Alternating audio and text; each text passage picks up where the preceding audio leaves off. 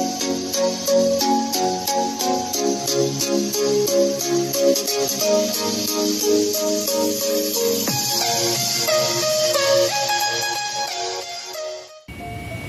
up YouTube, welcome to a brand new video, it's Mango here.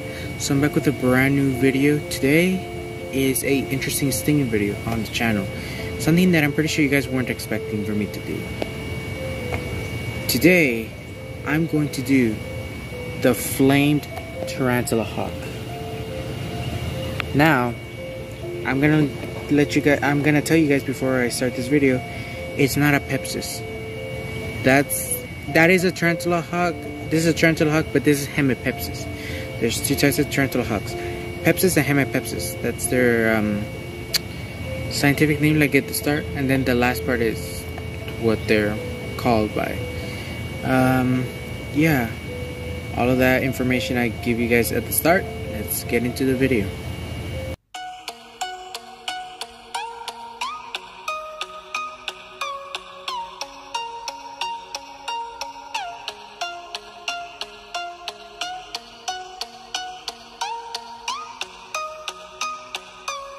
So guys, um, facts about the flame tarantula hawk is uh, you can find them in the southwest of the United States, which makes it from California to New Mex to Arizona to New Mexico to Texas to Nebraska and so forth.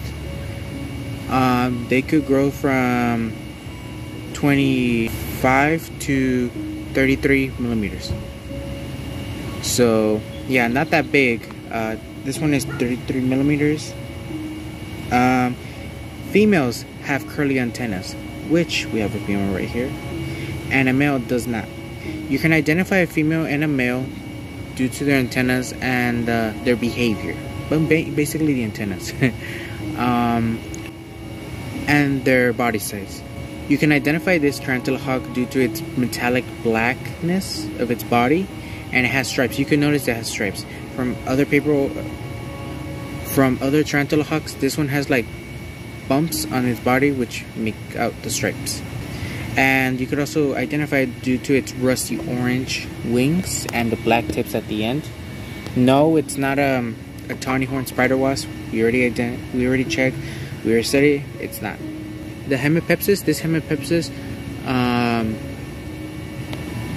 go go through uh, mating uh, for uh, two to three months. A male is looking for the female for about a month, and while the female is um, hunting for tarantulas. Uh, a tarantula has a scent that where the female can find it, so it flies around. It's looking around. It has sharp eyesight, and then that's when they detect the tarantula, and then they they don't just catch it just like that. They have to fight for their right to paralyze it and sting it, because because for the tarantula, they can't get away when it's a, uh, a tarantula hawk. Some do, some don't. Some win the battle, some don't.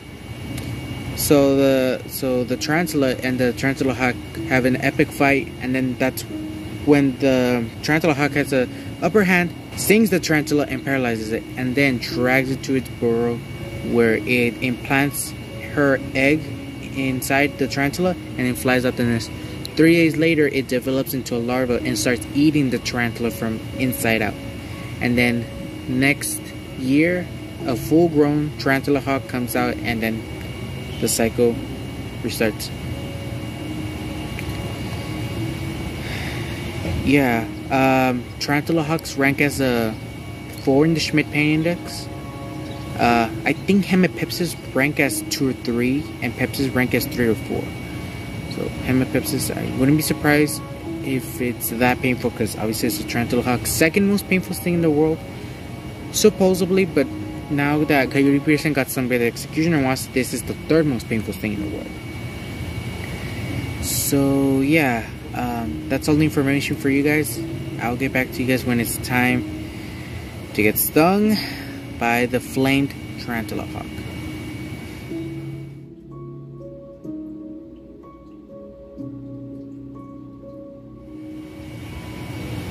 Hi, Mangojuice here, and I'm about to enter the sting zone with the flamed tarantula hawk. It's been a while, that's why the atmosphere is different. I'm nervous because it's a tarantula hawk. Don't know how painful it is, but wish me luck. Okay, it's entomology forceps, I put the things back. Three, two, one. Okay, here it is. The flamed tarantula hawk. Are you guys ready? Three, two, one. Oh!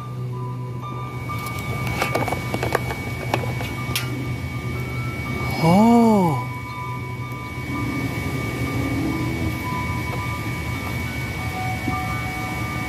Feels like a two.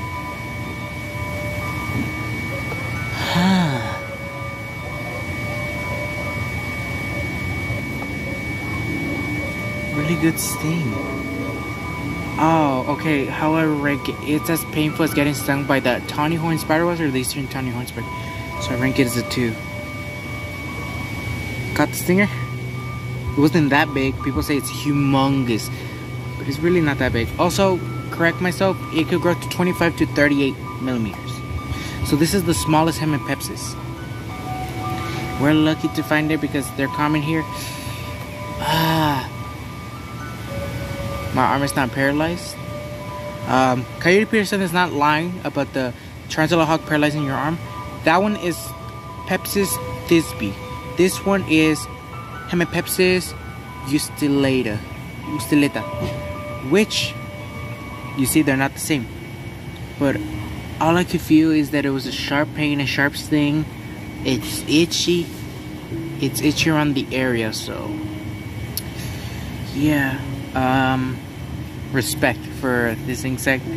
Um, I really thought that it's gonna be really painful. It's something like around here. Wait, around here. Around here, this where it's. So,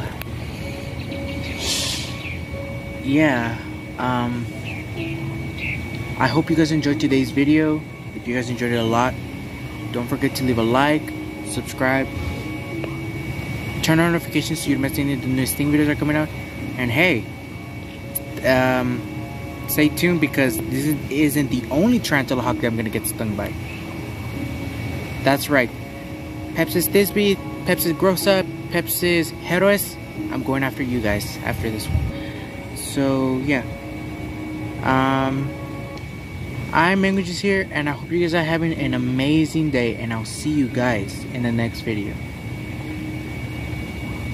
Be brave, stay wild, and I'll see you guys in the next video. See you guys.